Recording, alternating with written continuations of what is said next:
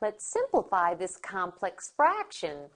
Notice the numerator of the complex fraction is a single fraction and the denominator is also, so we'll simply make use of the fact that this fraction bar has a definition of division.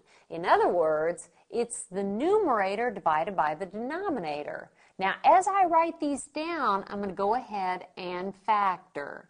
So it's this numerator now I'll factor that numerator of the numerator as x minus 3 times x minus 2, I'll let you check me, over x plus 3 divided by the denominator of the complex fraction. But remember, how do we divide?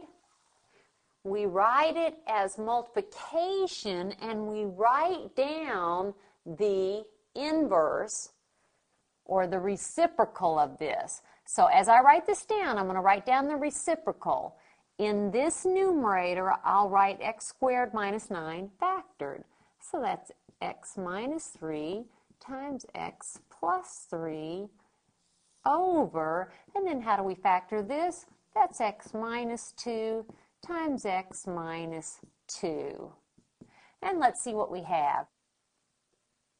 Well, there's an x plus 3 with an x plus 3, x minus 2 with an x minus 2. That's all the dividing out that we can do. So I can write this as x minus 3 quantity squared in the numerator as x minus 2 in the denominator. And there is my complex fraction simplified.